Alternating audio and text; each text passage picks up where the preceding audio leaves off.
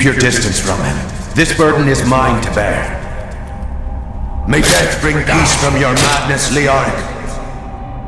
Traitors! Even in death, the armies of Khanduras will still obey their king, even if you will not.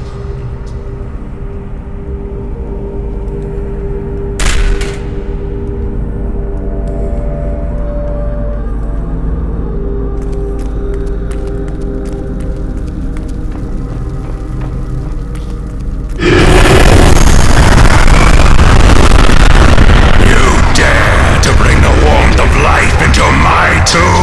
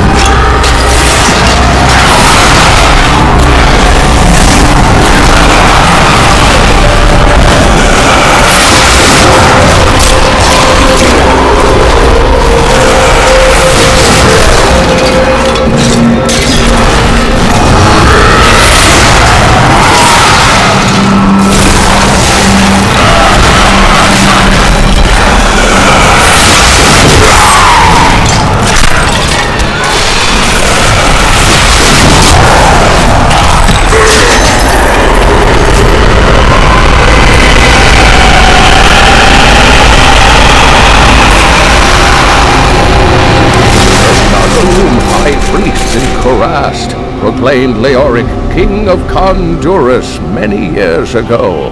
He ruled well until Diablo's influence drove him mad, and the loyal knight Lac Dannen was forced to slay him. Afterward, Diablo himself raised Leoric from the dead as the Skeleton King, until the monarch's son, Aidan, vanquished him